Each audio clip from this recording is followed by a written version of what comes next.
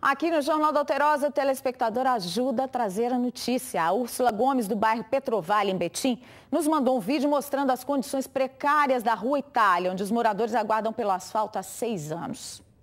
Essa aqui é a rua onde eu moro.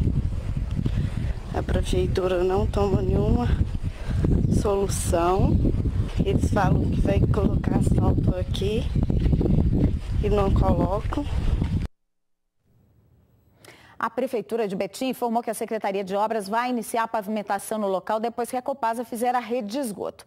Já a Copasa diz que os moradores têm que fazer o pedido. Só depois será elaborado um projeto para implantar a rede de esgoto no local, que isso não demore.